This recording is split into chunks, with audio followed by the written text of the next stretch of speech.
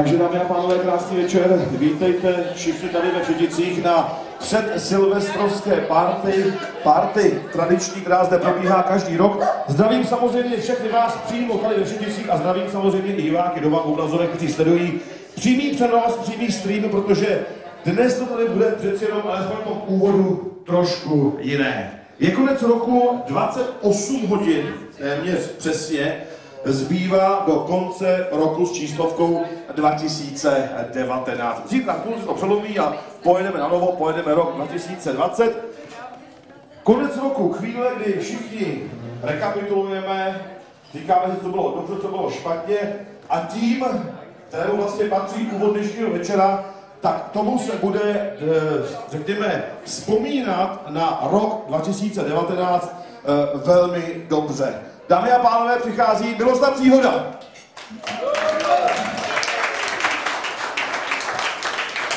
Potom se vzali toho obrázku stranou, se trošku podíváme. Milo, ahoj. Krásný dobrý večer. Proč dnešní večer, o co vlastně jde, přátelé, vy to všichni samozřejmě velmi dobře víte.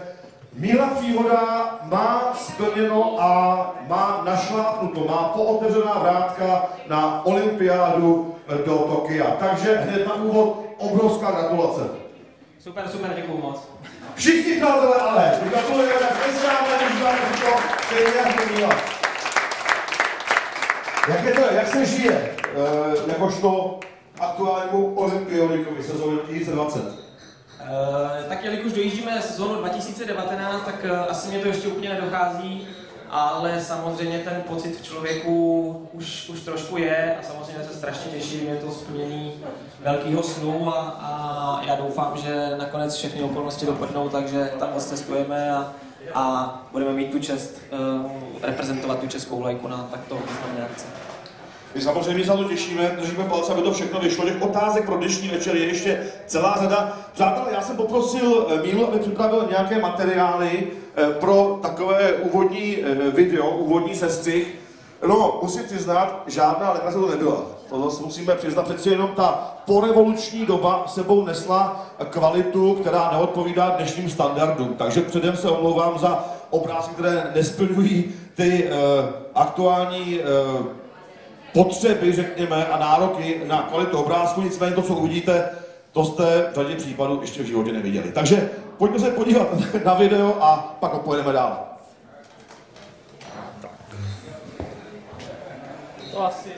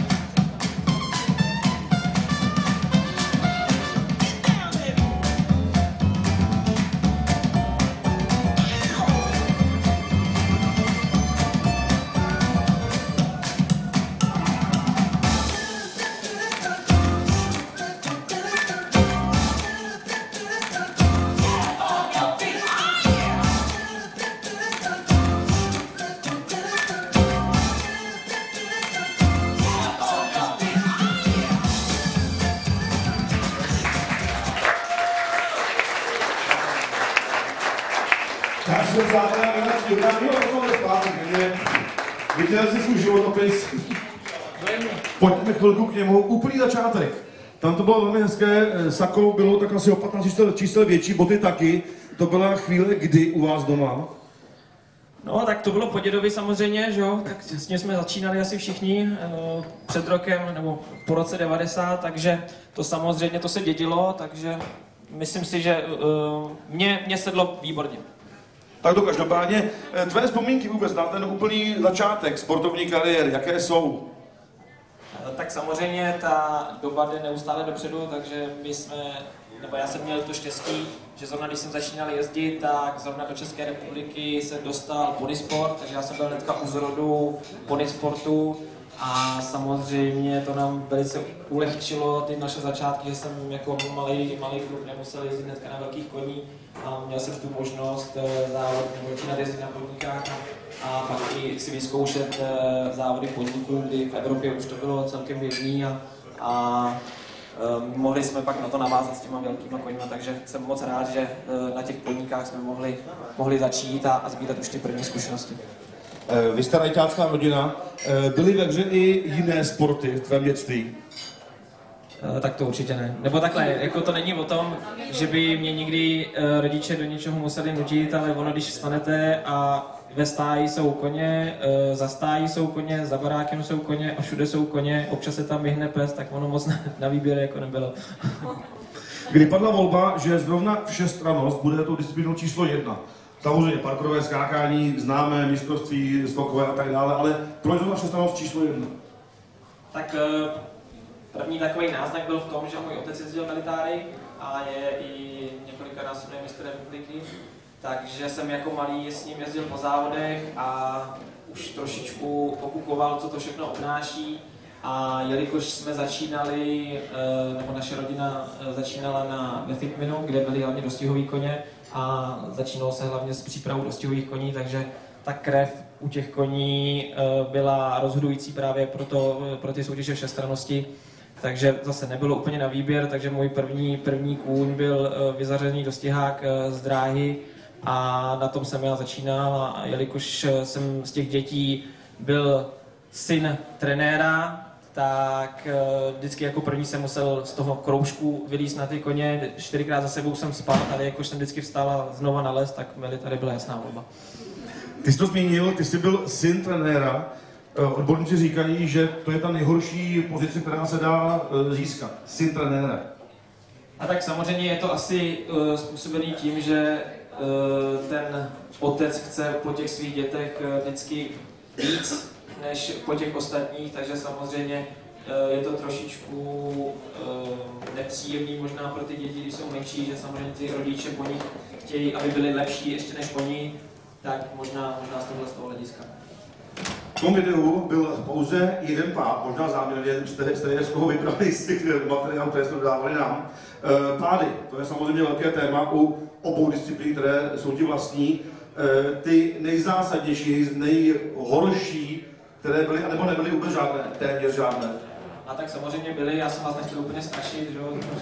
Přece jenom jsem chtěl, abyste si to trochu užili a spousta vás eh, tady večeří, takže jsem vás nechtěl úplně jako děsit a zde přivednu vám chuť k jídlu.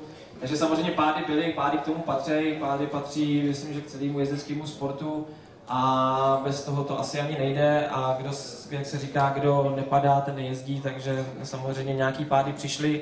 Paradoxně pro mě nejhorší pády přišly v tréninku, takže eh, z toho člověk nemá žádný psychický traumata do budoucna, jezdit doma, jezdím dál, takže všechno dobrý. se ti pády každopádně vyhýbají sezónách následujících. E, další otázka směřuje k tvým úspěchům, a to ať už ve všestranosti, nebo samozřejmě eh, v parkourovém skákání. Pojďme je zmínit. Jsou tady diváci, nebo jsou tady sledují nás hlavně diváci, kteří třeba tě neznají úplně dopodrobně, neznají tvou kariéru, takže pojďme ji trošku zrekapitulovat. Jež, tak to nevím, čím bych, čím bych asi začal. Ne, tak samozřejmě uh, jsem rád za každý úspěch a člověk samozřejmě se snaží neustále zlepšovat a to, že se nám daří, to je možná jenom hledisko toho, že to, co děláme, tak děláme správně, ale asi co bych nejvíc asi vypíchnul, tak uh, určitě to je letošní sezona, kvali, splněná kvalifikace na olympijské hry. To si myslím, že je, je sen jakoby každého sportovce. To, že se nám to letos povedlo, je, je, je velká věc a, a říkám, splnění našeho snu. A si myslím, osm mistrovských titulů ve všestrannosti, mm, dvě, asi dvě třináctých místa na mistrovství Evropy, co si myslím, že se ještě úplně nikomu nepovedlo. A pak tam je spousta dalších umístění. Říkám, měl jsem štěstí na koně, měl jsem štěstí na lidi kolem sebe, takže není to jenom o mě, ale o celém týmu a o celý, eh, o, o všech těch lidech a koních kolem mě. Dnešní večer je o olympiádě. Kdy ta myšlenka přišla po- poprvé na mysl, že ta olympiáda 2020 je hratelná, že by to mohlo být? Tak myslím si, že úplně takový první náznak, kdy jsme o tom začali trošičku uh, přemýšlet, uh, tak vzniklo právě po um, olympijské kvalifikaci družstev v Baborovku, kde se jela soutěž uh, CCI 4 hvězdy. Jak říkám, bylo to zároveň uh, pro naší C skupinu kvalifikační závod uh, družstev, jelikož Česká republika nedala dokupy družstvo, že nemáme momentálně na této úrovni dostatečný počet uh, jezdců a, a koní, tak jsme se tohoto závodu zúčastnili pouze jako jednotlivci a jelikož jsme se umístili na šestém místě a zároveň splnili právě kvalifikaci na olympijské hry, tak eh, jsme o tom začali trošku mluvit víc nahlas a řekli jsme si dobře, tak už nějaké body máme, nějaké body, nějaké výsledky se nám podařily. Eh, Dokonce v tu dobu vyšel květnový řebříček, kde jsem se umístil na prvním místě v naší C skupině, kde postupují první dva a to, nám trošičku, to nás trošičku nakoplo a motivovalo do další sezóny a, a tak jsme si řekli, dobře, tak stejně jsme na takovéto závody chtěli jezdit, takže pokud uh, se nám podaří ještě nějaký úspěch a podaří se nám udržet uh, v těch postupových bodech, tak jenom dobře pro nás, pokud ne, tak, tak jsme si to vyzkoušeli, zkusili jsme si to, ale prvotní záměr to určitě nebyl. Myšlenka na olympiádu přišla. Eh, Kdo to první vyslovil na hlas, ale to vždycky v těch hlavách trošku eh, sedí, hlodá, každý to bojí říct na hlas, takže kdo to první zmínil na hlas, že to budeme hrát, že prostě půjdeme za olympiádou 2020. Tak já musím prozradit, že samozřejmě sen startovat na olympiádě je v každém, ale asi úplně první, kdo o tom začal mluvit nahlas, je tady Roman Bobořil, spolumajitel Feroluse, který, který už, už v šesti letech, kdy se Ferolus účastnil prvních mezinárodních závodů, tak už říkal, jo, dobře, tak dobře to děláte, dobře to děláte, tak za tři roky, za čtyři roky do Tokia. Takže první, první byl asi Roman. Já to zvěděl dobře, výborně. Dostali jsme se ke koni Ferreolus. Eh, Dá se vůbec eh, poznat olympijský kůň? Eh, Tak já si myslím, že každý, kdo dělá s koňmi, tak samozřejmě, když si koupí z prvního svého koně nebo každýho koně, který ho kupuje, tak ho kupuje za záměrem s tím, že to je olympijský kůň. Takže samozřejmě ty, ty naděje jsou určitě v každém eh, chovateli nebo majiteli, ale nemyslím si, že by se to dalo. Nebo samozřejmě člověk má naději, ten kůň ukazuje jakousi schopnost, jakousi uh, perspektivu, ale zatím s vším je pak strašná spousta práce a, a času a taky musíte mít štěstí, aby se tomu koni do té doby nic nestalo. Nestalo se nic vám, další okolnosti finanční. Takže je to souhra několika věcí a u nás se to seběhlo asi nejlíp, jak mohlo a proto jsme tady stačili. Ferreolus je v něčem eh, jiný, výjimečný, anebo co je tou zásadní vlastností, základní vlastností, která ho pasuje právě do té olympijské kvalifikace? Tak já si myslím, že to je hlavně strašně inteligentní. Eh, V té naší disciplíně je velký důraz právě brán na tu inteligenci a na tu schopnost eh, té spolupráce s tím koněm, jelikož šestrano se skládá ze tří úplně odlišných eh, disciplín, drezury, cross country a parkouru, tak ten kůň musí ukázat v každé disciplíně to nejlepší za sebe a tím, že to jsou opravdu velmi odlišné disciplíny, kdy opravdu v té drezuře po něm chcete, aby ten kůň se stoprocentně soustředil a poslouchal toho jezdce, tak zase obráceně v tom krose po něm chcete, aby ukázal tu dravost, vytrvalost, rychlost. Takže jsou to dvě disciplíny, které se moc neslučují, takže ta inteligence toho, toho koně je strašně důležitá a hlavně ta schopnost spolupracovat s tím, s tím jezdcem je právě u toho Feroluse, myslím si, že ta nejzásadnější eh, vlastnost. Pojďme eh, do Tokia. Víme něco o eh, olympijské trati, víme něco vůbec o podmínkách v Japonsku pro olympijskou soutěž. Tak jelikož uh, už v tomto roce 2019 proběhla taková jak kdyby testační, testační, uh, testační závody právě přímo v tom uh, Forest Sea, sea Parku v Tokiu, tak už někteří jezdci, kteří si měli zájem oskoušet právě podnebí a trať v Tokiu, samozřejmě na olympiádu bude úplně jiná trať, že jelikož tohle to byla soutěž o dvě, o dvě o, o, o dvě místa míň, takže to bude zase úplně nová trať, ale samozřejmě si vyzkoušeli, že to bylo ve stejném termínu, jako se budou konat právě olympijské závody, tak si vyzkoušeli ty podnební a teplotní rozdíly právě oproti těm evropským. A to si myslím, podle toho, co jsem si zatím vyčetl a o čem se nejvíc mluví, tak jsou právě podnebné podmínky, které jsou velmi nestandardní, nejen pro jezdce, ale hlavně pro koně, takže si myslím, že největší problém bude právě, právě ten podnební a, a časový posun. Eh, Buďme konkrétní, o co vlastně jde. Víme, že tam je veli- vysoká vlhkost, která bude působit problém nejen jezdcům, ale i koním. Tam je problém i s transportem na tu krosovou trať a tak dále. Přesně tak, jedná se o to, že samozřejmě uh, Tokio je v, v jiném časovém pásmu, takže to máme nějakých 8-9 hodin časového posunu, takže ty koně budou mít úplně obrácený uh, časový, časový program, než jsme zvyklí uh, právě z- ze závodu z Evropy. A především je to úplně jiné podnebné pásmo. Počítá se s tím, že by při termínu prvního týdne nebo té přelom naše soutěže se pojedou od 37. do 3.8. Takže se počítá, že v těchto dnech by mělo být teploty od 32 do 35, 35 stupňů, ale až 90% vlhkost, zase bude hodně záležet na tom, že eh, Japonsko je ostrov a eh, navíc krosová trať je přímo ještě takový malinký ostrůvek, přímo hnedka vedle Tokia, 10 km vedle Tokia, takže bude hodně záležet eh, také, jak, jak, jaké jaký vítr půjde od, od moře, jak, jestli bude pršet nebo nebude, ale počítá se, že opravdu ta vlhkost bude až 90%, což samozřejmě je nepříjemný nejenom pro lidi, ale, ale samozřejmě pro ty koně, především kor v té krosové části.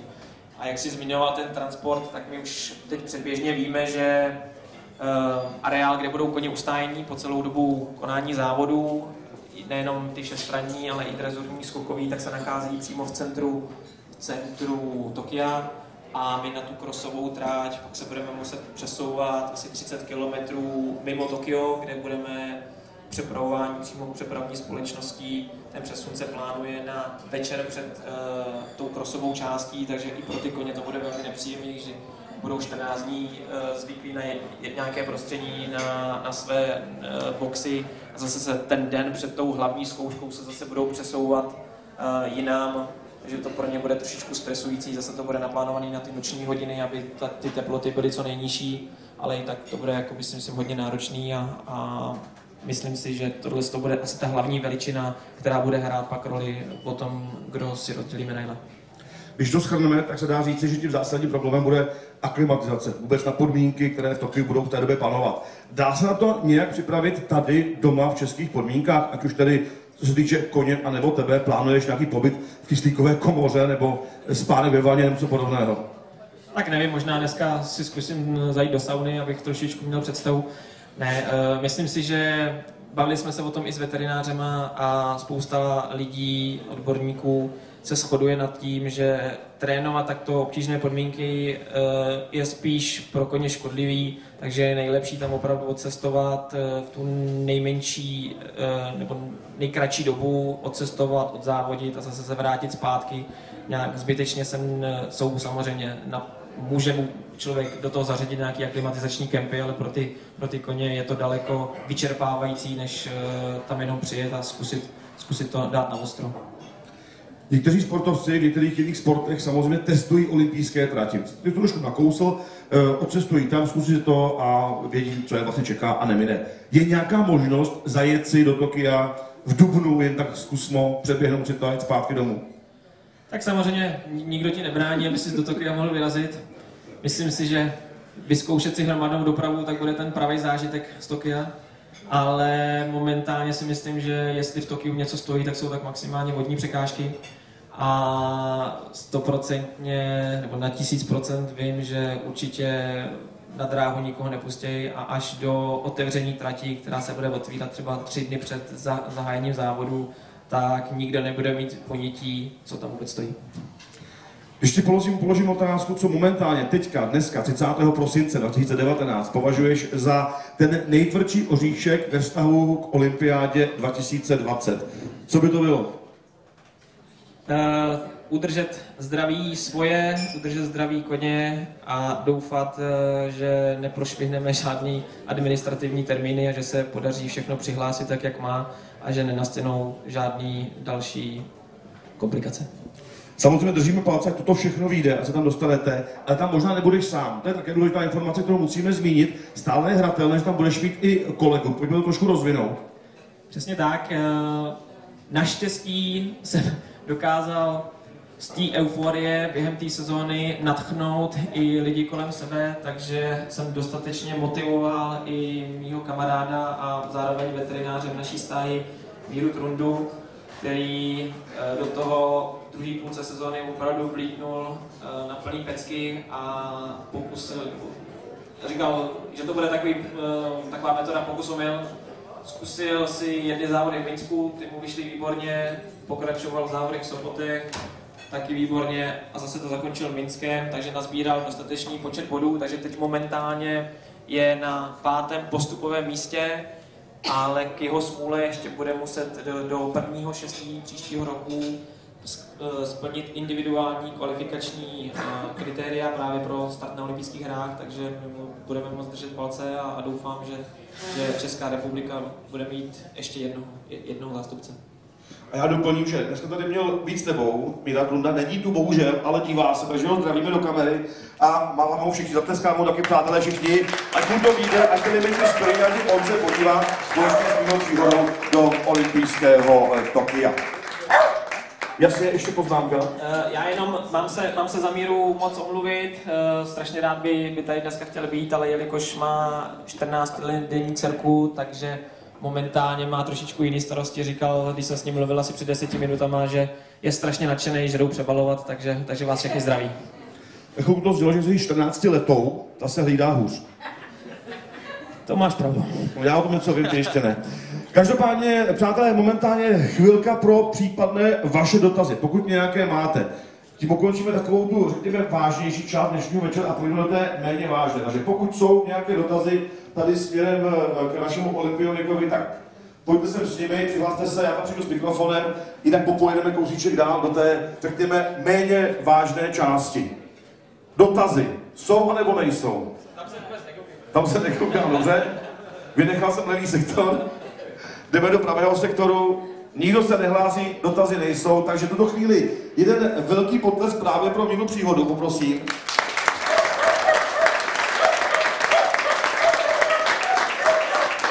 Je to i sexy doprovodem. Tak, a jdeme do té druhé části. Jelikož jsme si připravili pro tebe takový testík, jak vlastně znáš destinaci, kam míříš. Takže, Naučil jsem se jednu japonskou větu teda. Výborně. Tokio deo Aishima Show. Co to znamená? Naschledanou v Tokiu. Výborně, i to dneska budeme s tebou testovat, neboj se, k tomu všemu se dostaneme. Takže první otázka pro tebe, a samozřejmě zapisujeme, Kla- eh, Pláša je státní notář, ten zapisuje dobré a záporné body. Kladná odpověď, plusový bod, znáš to z domova. Škoda, že máš samé záporné. Tak, takže první otázka, kde leží Japonsko? Japonsko je ostrov vedle azijského polostrovu.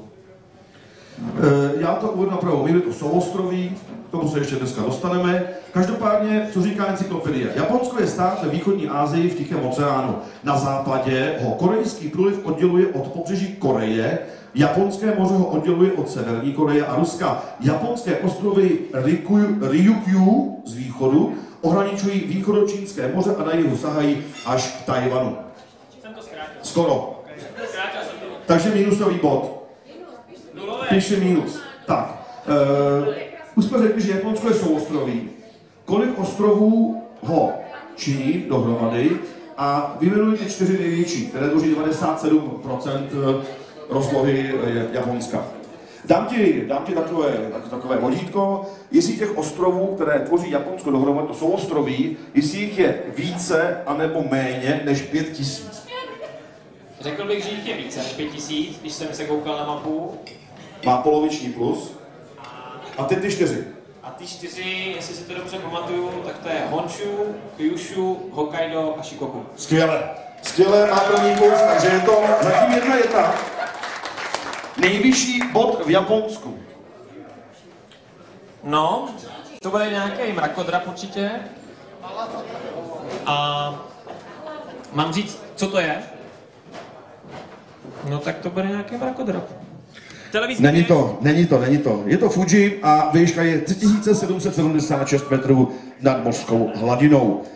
Už jsme to dnes zmínili, další otázka se týká časového pásma. Jaký je tam časový posun oproti naší destinaci? Já bych řekl 9 hodin. Ano, 9 hodin správně. Další otázka, počet obyvatel. Zase dám ti limit, V Japonsku nebo v Tokiu? V Japonsku, v Japonsku. Jestli těch obyvatel je více anebo méně než 130 milionů. Tak vím, že v, eh, v Tokiu je přes 13 milionů obyvatel, takže bych řekl, že jich možná bude i více než 130. Není minusový bod. Úplně přesně v roce 2017, tedy už se to hodně množej, ale v roce 2017 jich bylo 127 milionů 383 tisíc 854.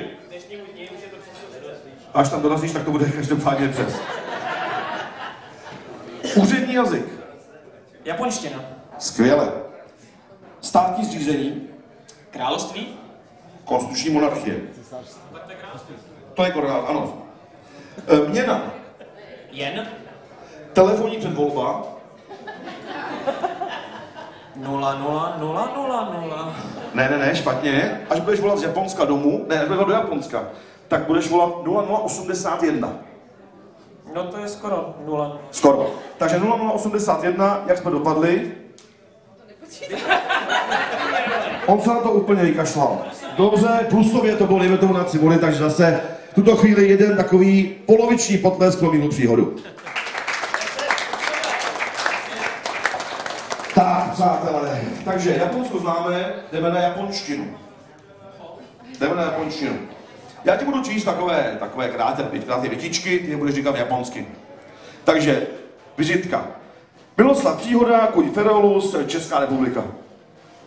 Hongkong, Miloslav Příhoda, Fereolus, Czech Republic. イロスラフエピソードウマフェレオルスチェコ共和国 Skoro stejný. Slyšel z Čechoslovakie, jo? Jdeme dál, dívej se. Prosím vás, kde má zastávku vlak z letiště do olympijské vesnice?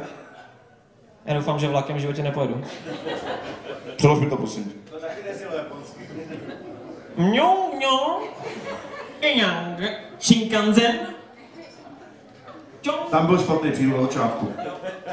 空港からオリンピック村までの列車の停車場所をご覧ください Skoro stejný. Nenechal se domluvit, no.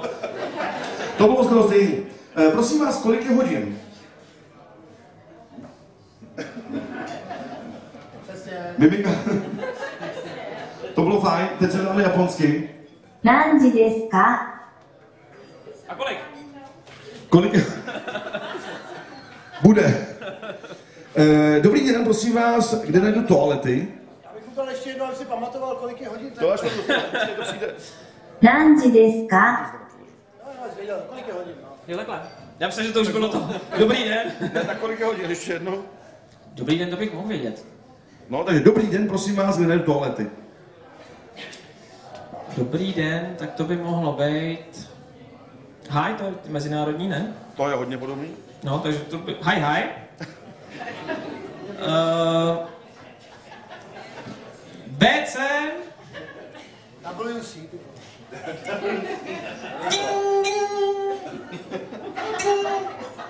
On není úplně špatná verze, ale to je, to je tajvanský nářečí, teď se dáme japonsky.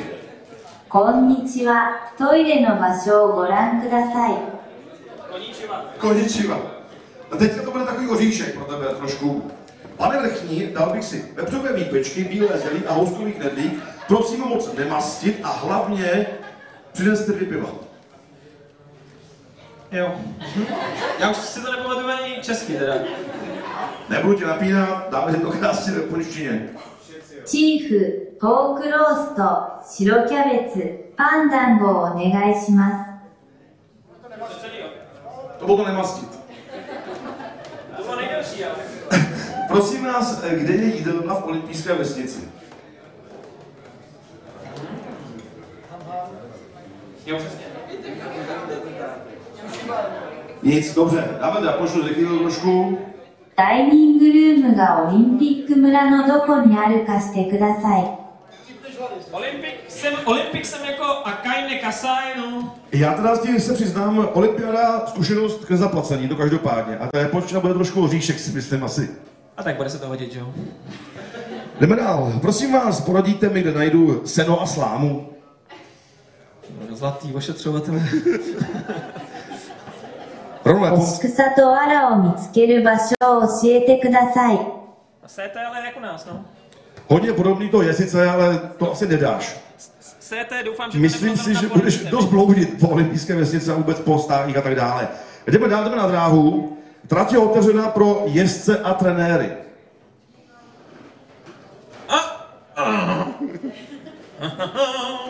Go! Jede se odpoledne, prosím tě. To, to, to byl ranní úvod, to byl ranní trénink, jede se odpoledne. トラックはライダーとコーチに解放されています。No vidíš to.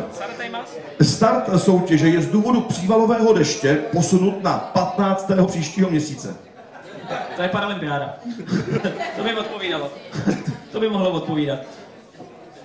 激しい雨のため、競技の開始は来月15日に延期されます。Zní to strašně úplně si nějak česky, no. E, počasí, to bude zásadní veličina samozřejmě olympijské soutěže. Takže předpověď na kolikátého, 30. jsme říkali? 30. začátku. 30.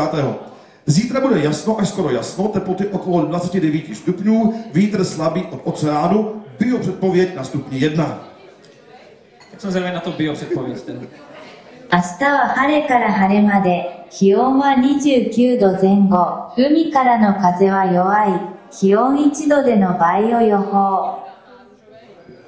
A teď dobře poslouchej, teďka budeme malinko předjímat, budeme si hrát na to, že všechno je úplně ideální a že prostě si užíváš Tokio plnými doušky. Takže by mohlo zaznít. Česká dvojice Miloslav Příhoda a Fedorus jdou do závěrečného parku do olympijské soutěže ze skvělého třetího místa průběžného pořadí. Tohle bude znít éterem možná v Tokiu. チェコのデュオ、ミ ロスラフ・ピホダとフェレオラスが、総合順位で3位からオリンピック競技大会の最終章にジャンプします。 A potom vystřelej ty emoce. Ne, pak se provodím. A pozor, je třetí den soutěže, tam to bylo bez chyby a teď to bude. Česká dvojice je bezchybná a znamená to, že s jistotou poveze domů olympijskou medaili. Tohle bude znít. Možná. To nevím, co bych tomu ani řekl. チェコのカップルは完璧であり、オリンピックのメダルを確実に運ぶことを意味します。Je to. A jdeme domů. Tokio mají ty další? Takže tolik eh, test japonštiny, jsi to nepochopil nebo, nebo, nebo uh, si nepřinesl. Ale pozor, i psaná japonština tě bude provázet. To znamená, přijdeš, musíš se podepsat někde. Budeš se podepisovat, my ti dáme nápovědu, neboj se. Tady máš eh, na obrázku, to je, Miloslav. to je Miloslav. Takže prosím tě, podepiš se v japonštině. Je, je důležitý jak to? No, jak to je dlouhý? no, tak. To je otázka přízvuku.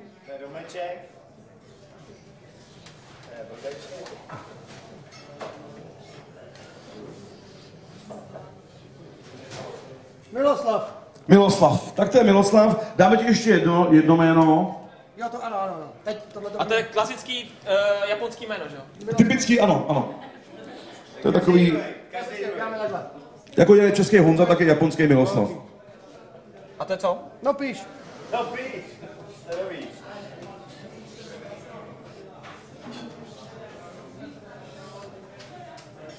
Má jednu velkou výhodu, nemají tvrdý a měkký i. To je Aleš. Ano, to je, to je Aleš. Tolik psaná japonština. Proč jsem se nemenoval Aleš? Tak, Mílo, my o tobě víme, teď to musíme připravit tamhle, ale my o tobě víme, že jsi eh, vášnivý tanečník. Tancuješ dobře, tancuješ rád, tancuješ dlouho. Takže přiveď si uh, partnerku. Nebo partnera, to je jedno, samozřejmě. Přiveď si koho chceš, uh, budeme tančit. Na Japonskou národní. Ano. Pochopil jsi to správně. Takže si běž vybrat, já to nemusím nechat najít v rychlosti. Tak pojď. Maruš. Mamko, tak pojď. Znáš to, když musí, tak... No tam mít předlohu. Jo, takhle. Chceš letět? Tak.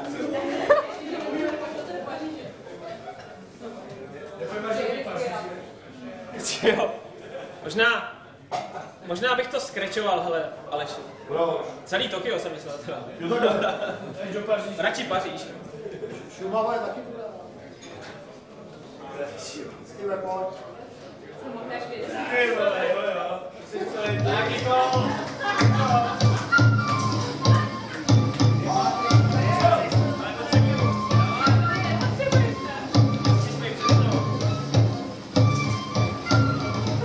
To máš inspiraci?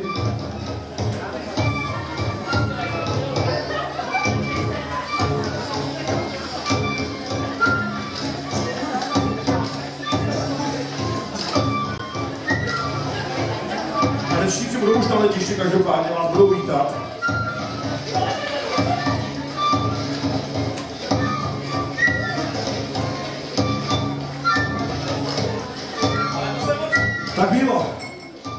Znova.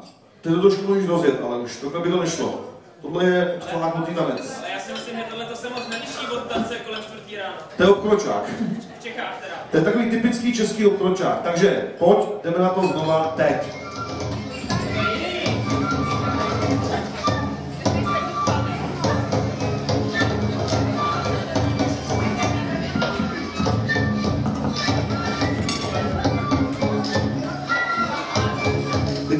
Variace už.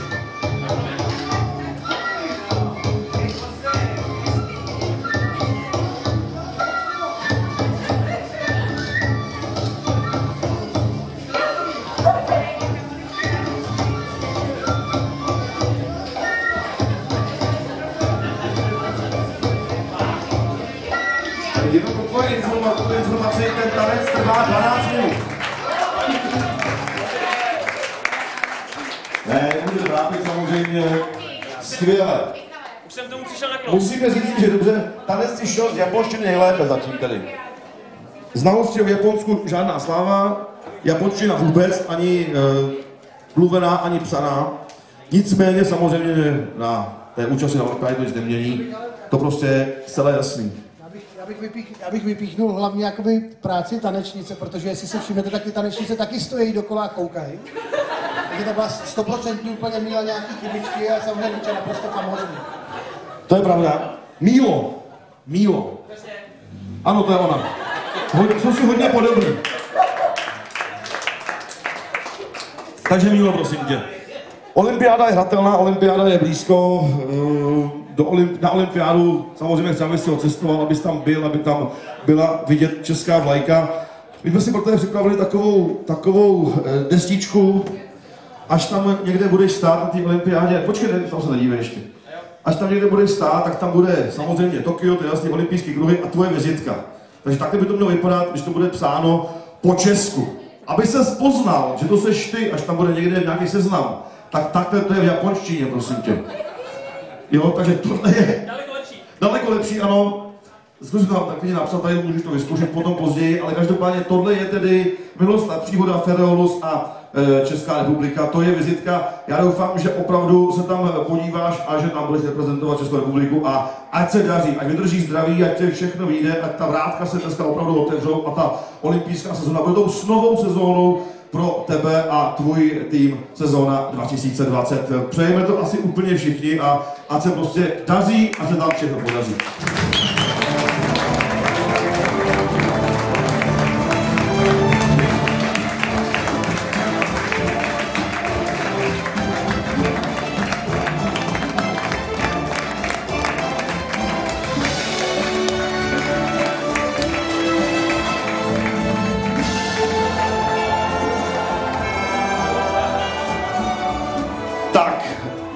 Mílo, tohle je vizitka, to je jasný, ale samozřejmě pět olympijských kruhů, pět barevných olympijských kruhů, které budeš výdat celou sezónu 2020, je tady teď symbolizováno tímto platíčkem, takže pozveme samozřejmě. Přijde samozřejmě Míla, to je jasné, jemu patří úvod dnešního večera. Přijde i Roman, ale ty musíš, nedá se nic dělat. Ať si veme svou piče. Samozřejmě přijde náš dnešní hostitel, a to je Vláďa Malák. To je třetí, Ludvík Jandourek jakožto, jakožto eh, Držič. držič přidá, taky to je čtvrtý a vylosuj si pátého k sobě. Já bych samozřejmě rád, abyste si dali všichni, nebo nevím, jestli byste si chtěli dát všichni. Ale pět kruhů, pět barev, tím pádem samozřejmě pět eh, přípitků je připraveno, takže vylosuj si k sobě jednoho nebo jednu. Nikol, si- Nikol se ušetřila tady tanec, takže tohle toho jí nemůžu nechat jako, si, si to nechat ujít. Tak. Teďka, cedulku máme, půjdeme samozřejmě po pořadě. Kam znám cedulku? Tady, sedí.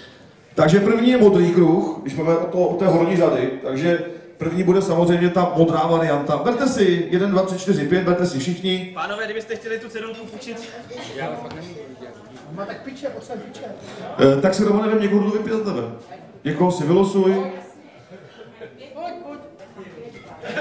Tak, ten si vylosuje svého zástupce, kdo to za ně vypije, jelikož je řidič a musí dneska taky ještě domů. Takže první, první olympijský přípitek za první olympijský kruh a Míla Příhoda velí. Modrý. jak se řekne japonsky, na zdraví. Řekl to dobře. Čin čin, Tak, takže to je první kruh.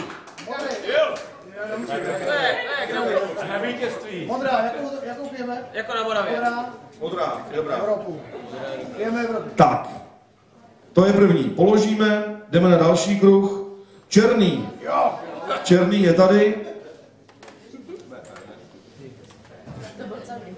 Jo? Suprovi. Startuje olympijská sezóna, takže druhý přípitek včíl. Afrika. Afrika, ano, to je Černá Afrika. Tak, jdeme na červený Teď už možná na naši olympijský kruh. Azie. červené. Červený je tam, berte si. Ne, ne, ne, ne, ten bude až nakonec. Tak, takže jsme u červeného kruhu. Azie. Píte teď. Amerika. Tak. Žlutý, jdeme dolů, jdeme do té spodní řady, takže teďka bude. Pojďme, pojďme, Pojďme zelený, ano, je to rozumnější. na Austrálii. Pojďme na Aus- zelenou Austrálii, přesně tak. No, Ta je na dech. ten, tenhle večer nebude moc dlouhý, ne? Sezóna bude hodně dlouhá, neboj se ničeho. 16. Tak, takže 3, 2, 1, teď, to je ten čtvrtý olympijský kruh. Tak a na závěr to nejsnažší samozřejmě, ta, ta tečka, Azie. ta tečka, která bude hostit. Džus. bude hostit eh, olympiádu, kde bude, doufejme, startovat právě Míla Příhoda a doufejme také, že nebude sám. Takže pátý kruh je tam. Je to zapito, takže za všechny tady v sále, za všechny doma samozřejmě i obrazové, za všechny příznivce českého jezdectví, ať se daří, ať ta sezóna vyjde, ať opravdu můžeme sledovat uh, Mílu Příhodu s Feralousem eh, v olympijském Tokiu a ať vidíme tuto dvojici i v té, tom třetím díle, v tom závěrečném díle olympijské soutěže. Držíme palce strašně moc. Já děkuji moc a musím říct, že tohle bylo horší a těžší než celá kvalifikace. Dobře, Mílo, ať se daří, držíme palce. Tak, dámy a pánové, tím končí eh, ta oficiální část eh, dnešního večera. Za chviličku se ještě Míla Příhoda přihlásí už té eh, pokračující následné části dnešního večera s jednou vsuvkou, nicméně ta oficiální část končí. Užívejte samozřejmě ten dnešní předsilvestrovský mejdan tady ve Všeticích. Zítra Silvestr, zítra se to všechno láme. Já vám přeji za sebe do nového roku jen to nejlepší, ať se daří v té, řekněme, soukromé rovině i v té sportovní, protože ať si, až si užíváte rok 2020 plnými doušky. Mějte se krásně a v roce 2020 na viděnou a naslyšenou. Mějte se hezky.